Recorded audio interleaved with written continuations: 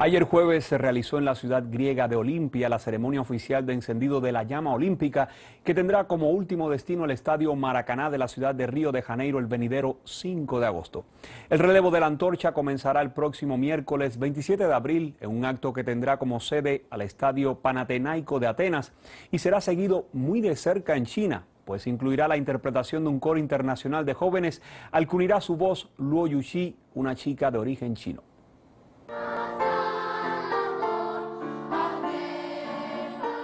Un total de 350 jóvenes participarán en la presentación de la próxima semana en Atenas, con Luo Yuchi destacando entre los intérpretes al tiempo que la antorcha pasa de mano en mano. La joven de 16 años nació en la capital griega de padres chinos que decidieron mudarse al país cuando eran jóvenes. Luo asistió al jardín de niños en China para posteriormente regresar a Europa y actualmente le parece que el chino y el griego son dos de los idiomas más hermosos del mundo. Tras varios ensayos y prácticas estoy bastante acostumbrada y es fantástico. Ahora puedo cantar la canción muy bien.